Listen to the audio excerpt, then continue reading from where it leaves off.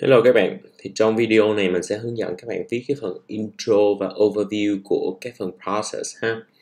Đầu tiên mình sẽ đi tới cái phần introduction trước. Thì đối với cái phần introduction như là mình đã đề cập ở trên lớp á, thì các bạn nhớ rằng đối với những cái dạng task one thì mình đều ưu tiên cái chiến lược là mình tiết kiệm thời gian. Cái introduction mình phải có một cái chiến lược gì đó để mình có thể là paraphrase trong vòng một phút là các bạn phải xong ok, nên cái chiến lược của mình là mình chỉ cần phải đổi ngữ pháp thôi là đủ rồi. So, các bạn tưởng tượng cái đề nó cho mình, có thể là nó sẽ cho mình một cái cụm danh từ gì đó, một cái noun phrase gì đó. Thì cái các bạn cần phải làm là các bạn sẽ đi biến, đổi cái điểm ngữ pháp noun phrase này, các bạn sẽ biến nó thành một cái noun clause hoặc là những cái cụm khác. Ví dụ ở đây mình có gợi ý cho các bạn một số cụm để các bạn có thể có thể sử dụng qua lại. Thì ví dụ ha À, đề này các bạn đang thấy là the diagram below shows the process of producing orange juice. Thì các bạn thấy rằng mình chỉ cần đổ nhẹ một xí thôi. Diagram các bạn sẽ biến là cái chữ graphic. Shows thì các bạn chỉ cần đơn giản các bạn ghi là chữ illustrates. À, sau đó là các bạn có đây là một cái cụm danh từ, đây là một cái noun phrase nè. Nên là các bạn sẽ biến nó thành cái noun clause, cái cấu trúc mà mình đang nói ở nãy. Thì các bạn sẽ có là how s cộng v thì từ đó mình sẽ dựa theo cấu trúc đó mình sẽ lấy heo. Chủ ngữ của mình sẽ lấy là cái vật thể mình đang miêu tả ở đây có nghĩa là cái orange juice right? Orange juice. Động từ các bạn sẽ tận dụng cái động từ mà mình được được cho trên cái uh, ở trên cái đề bài thì các bạn sẽ có là orange juice is produced right? Ok. Thì các bạn sẽ có một số những cái động từ và các bạn thông, thông thường là các bạn sẽ gặp rất là nhiều ở trong cái phần process. Thì các bạn sẽ có những cái động từ là làm ra right? Thì các bạn sẽ cần phải học cái version động từ cũng như là cái danh từ của nó ha. Các bạn nhớ một số những cái động từ này giúp mình ha. Đầu tiên các bạn có produce thì các bạn sẽ có danh từ là the production of something. Sau đó thì các bạn sẽ có uh, một danh từ là make thì các bạn sẽ có là the making of something. Uh, các bạn có manufacture. Thì các bạn sẽ có là the manufacture of something. Đôi khi các bạn thấy người ta cũng xài manufacturing of something á. Ok. Rồi đơn giản vậy thôi ha. Intro mình không màu mè đề nó cho mình cái gì thì mình paraphrase chính xác như thế. Mình chỉ cần, cái nhiệm vụ của mình chỉ cần là đi đổi cái ngữ pháp là đủ. Ok?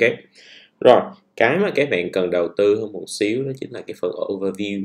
Tại vì các bạn nhớ rằng overview nó là cái điều kiện để cho các bạn có thể đạt được cái điểm task achievement trên 6 nếu các bạn không viết được cái overview chính chính xác, thì cái điểm task achievement của các bạn nó có khả năng là bị dưới 6 nên overview là một cái rất là quan trọng để cho các bạn có thể là thỏa mãn được cái điểm task achievement của mình ha.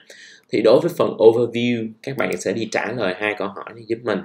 Mình sẽ có hai câu hỏi, một câu hỏi chung chung và một cái câu hỏi cụ thể hơn một xí.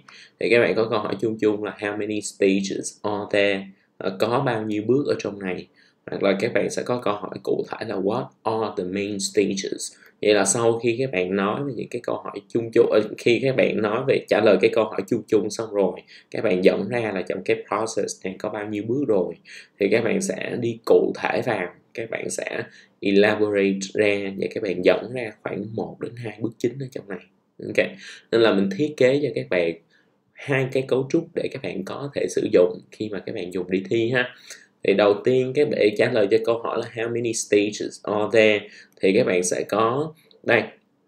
Overall đây là cái từ nối tiêu chuẩn nhất để các bạn có thể dùng để các bạn giới thiệu overview. Các bạn sẽ không cần bất kỳ cái từ nối nào khác đâu ha. Uh, mình sẽ có là this process. Và các bạn có thể dùng những từ là bao gồm nè bao gồm nè hoặc là trải qua bao nhiêu đó bước.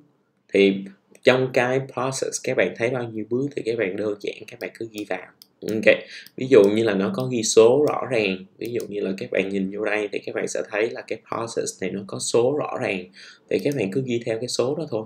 Còn nếu mà các bạn thấy là nó không có số và các bạn không có chắc chắn rằng là nó có bao nhiêu bước thì các bạn cứ ghi là multiple hoặc là various phases. Ok, rồi đối với cái main stages thì đây là cái cấu trúc mà các bạn sẽ dùng cho khoảng là 90% trường hợp uh, đây là cái mà mình một xíu nữa mình sẽ nói đây là cái ngoại lệ. Đây là cái mà mình khuyên các bạn nên học. Nếu mà các bạn không có thời gian để có thể là đầu tư cho cái dạng process thì các bạn chỉ cần học đầu tư để có thể là viết theo cái công thức này là đủ rồi. Ok thì mình sẽ có bước chính mình sẽ dẫn ra là bước đầu và bước cuối. Thì các bạn lưu ý uh, chữ commencing with có nghĩa là bắt đầu hoặc là culminating in có nghĩa là kết thúc thì từ đó các bạn sẽ dẫn ra bước đầu ngay đây và bước cuối ngay đây. Thì mình có để trên này đó là cái chữ parallel structures, có nghĩa là cấu trúc của nó nên song song.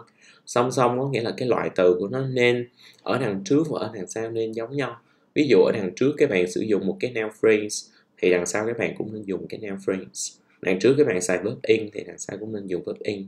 Đằng trước các bạn xài noun being và ba ed thì đằng sau các bạn cũng nên xài noun being và ba thì mình recommend các bạn sử dụng cái điểm ngữ pháp cuối cùng này ha. Thì các bạn đọc thử cái câu ví dụ ở trong này. Thì các bạn sẽ có là overall, cái process này nó bao gồm 7 bước, right? Đây là cái phần trả lời cái câu hỏi đầu tiên. Sau đó cái main stages, các bạn để ý nè. Coi mình phân tích cấu trúc nó có giống như trên này không nha. Commencing with, các bạn có clay sẽ là danh từ. Sau đó tới being và sau đó các bạn sẽ có là verb id chính là cái chữ dot up ở hình đề đằng sau các bạn thấy cũng y chang như thế, các bạn nhớ là cấu trúc nó phải song song.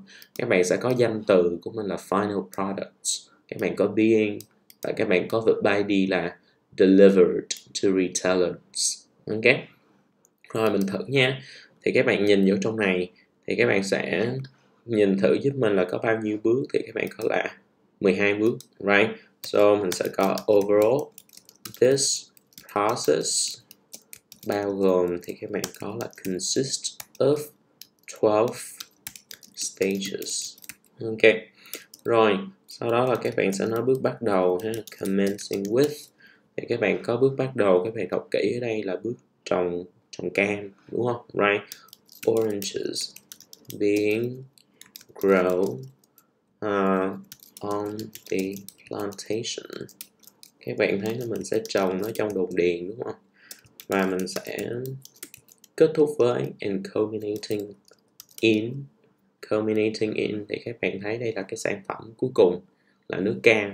Nó được đóng hộp, đúng chưa? Right.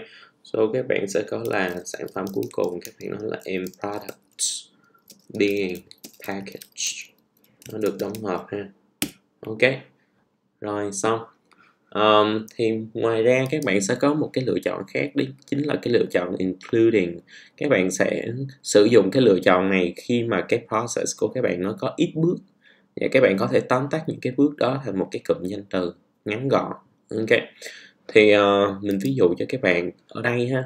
Ví dụ như các bạn đang có đây là một cái process mình sử dụng tái sử dụng nước mưa ok thì các bạn sẽ nhìn vô đây các bạn thấy là nó sẽ có khoảng là 4 cho tới 5 bước cơ bản. Các bạn có bước này là cái bước thu thu góp nước mưa lại nè. Nước mưa và mình dùng cái hệ thống ống để mình gather mình collect lại cái nước mưa.